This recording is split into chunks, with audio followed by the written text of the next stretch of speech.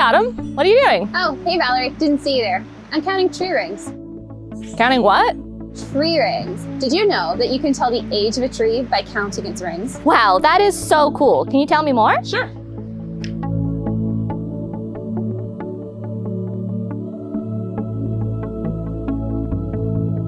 Hi everyone, I'm Valerie. And I'm Autumn. So today we are going to explore trees. They are all around us, but what do we know about them? Trees are awesome. They give us clean air through photosynthesis. We use them for food and building materials. And so many animals are dependent on them for shelter, food, and so much more. Yeah, that's true. But did you know that they're also great storytellers? Really? How do trees tell us stories? Through their rings. I'll show you. Each year in the spring and summer, trees grow and they get bigger, just like you get bigger every year. So they get taller every year? Yes, but it actually also gets bigger around on the trunk. And that is where you see tree rings. How often do trees grow a new ring? Every year. Early in the spring, trees grow a lighter colored wood, and in the summer, the wood is darker. So, like all living things, trees are made up of cells. And in the lighter colored wood, those cells are larger and the walls are thinner. The darker wood, the cells are smaller with thicker walls. And because they're more tightly packed together, they look darker. And that's why you get dark wood. So a light and a dark band together represent one year of a tree's life.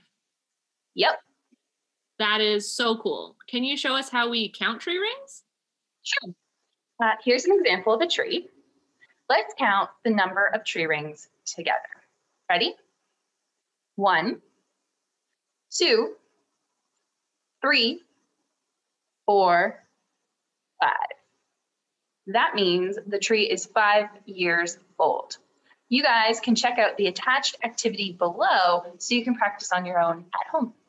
Awesome. How old do trees get, Autumn? Well, some trees can be hundreds of years old and sometimes even thousands of years old, like the Methuselah tree here. Wow, thousands of years old. They would have lived through so many different lifetimes. Definitely. And scientists actually just found a tree that lived over 42,000 years ago. It was excavated from a bog where it was preserved in almost perfect condition. And looking at this tree's rings will allow scientists to learn what the world was like 42,000 years ago. Wait, how did they do that? Well, by looking at the rings, scientists can tell what the climate was like, what conditions were like hundreds, thousands, and even with trees living today years ago. That is amazing. Yeah. So let me show you how it works. Let's take a look at another tree ring. Do you see the middle part here? This was the first year the tree was alive. It's big, and that means the tree got enough sunlight, water, and nutrients to grow. What about these smaller and more uneven rings? Yeah, well, in those years, there may not have been enough water, for example. Um, a smaller ring could mean that there was drought that year or a lack of rain. A smaller ring could also mean it was a lot colder that year, so the tree grew a lot less. And that can tell us about the past climate. On this ring, do you see the dark band? Yeah, this shows us that there was a fire that year. The tree was burned and it was scarred and it got darker, but it kept growing after the fire was put out. So, looking at how old the tree was when the fire occurred tells us that there were a fire a certain number of years ago. So these tree rings are helping us to understand what was happening in our past. Yeah, it's like telling the story of your life. That gives me a really great idea. We could make a tree ring of our own lives. Here are the supplies you're going to need colored paper, scissors, a glue stick, pencil, string, a hole punch or something else to make a hole with, and things to draw circles with. I have some dishes from the kitchen. And I have a compass. First thing you need to do is draw a circle for each year of your life. So if you're 10 years old, you need to draw 10 circles. But you need to make sure that each circle is bigger than the last. Oh, why do we need to make sure that they get bigger? because this creates the tree rings that you were talking about. Ah, I understand. Great idea. Let's get started.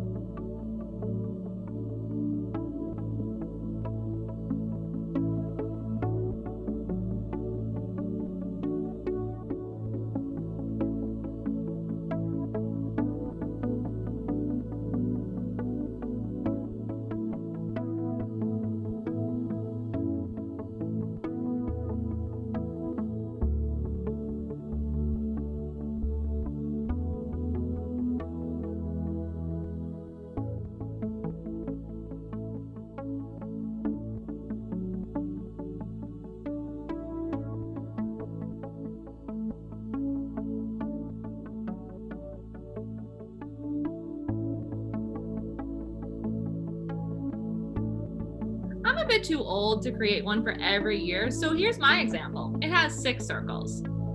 Here are mine. I think there's about 10. Now we need to glue them all together.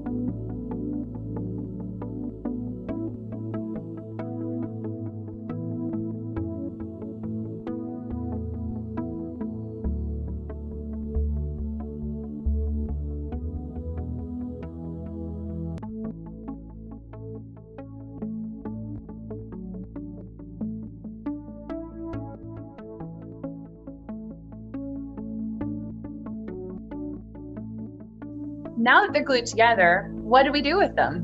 Well, now we want to write our story in each ring. So in the middle ring, I would probably put that I was born. So what happened to you when you were one, Autumn? Uh, my sisters were born. That's awesome. So keep doing that for every year of your life. If you need some help, ask the adults in your life.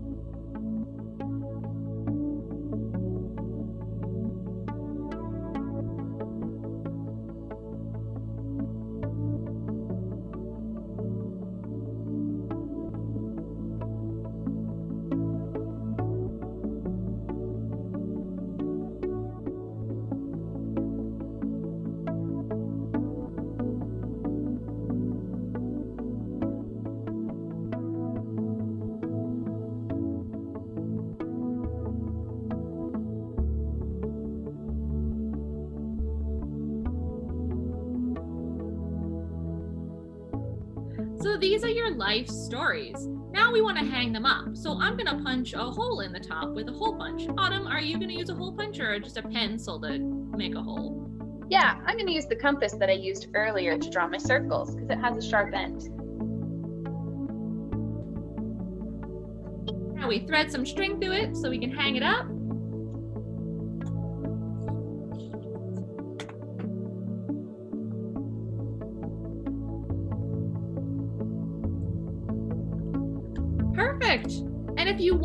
Can add a new ring on your birthday every year to add to your story and find somewhere awesome to hang it up. Here is my tree ring that I made earlier.